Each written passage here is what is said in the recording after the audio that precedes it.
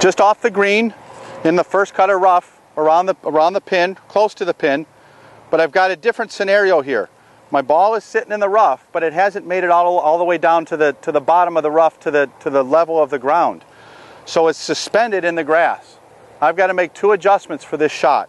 First, I can't set my club too close to the ball for fear of the ball moving more, and I'll incur a penalty for grounding my club as the ball moves. Second is that I want to set the club at the level that the ball is in the grass.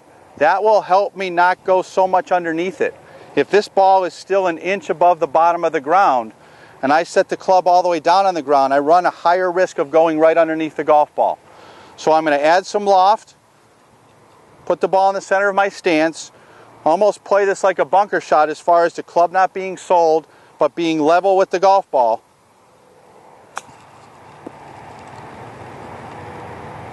And then holding on to my hit, my wrist cock as I come through. That'll allow me to get through the grass and hit a nice shot like I just did right here.